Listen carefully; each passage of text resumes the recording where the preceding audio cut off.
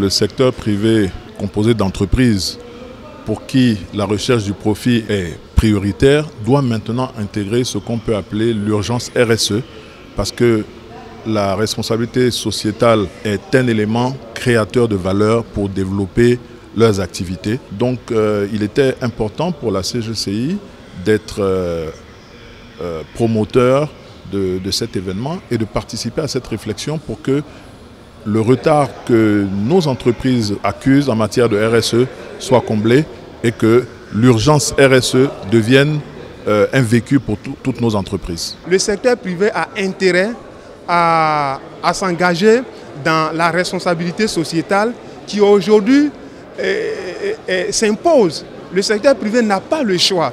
D'autant plus que s'engager dans la responsabilité sociétale permet non seulement de, de, développer ses activités au plan économique, mais ça permet également de développer des partenariats, de mobiliser des ressources aussi bien au plan national qu'au plan international.